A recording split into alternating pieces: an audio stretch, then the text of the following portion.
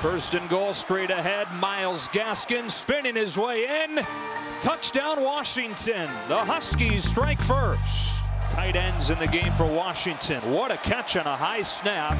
Gaskin spins, reaches for the goal line. And in. Touchdown Washington. It's the spin move. Gaskin getting loose on the Palouse. Minshew all season has been really effective, even in these tight spaces. One of the top red zone teams in the country. They hand it to Williams, who gashes it. Touchdown, Washington State. Boy, they needed it badly, and they got it from the junior. Ahmed comes in motion. This could be a trick play. Fuller on a double pass. It's a Washington touchdown. Right back to Bryant.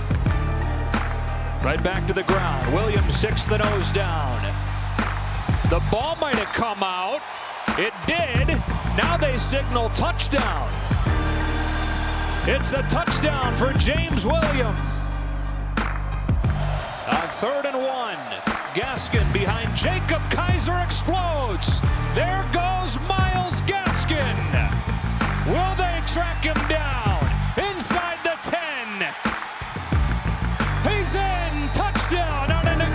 Explosion from Myles Gaskin.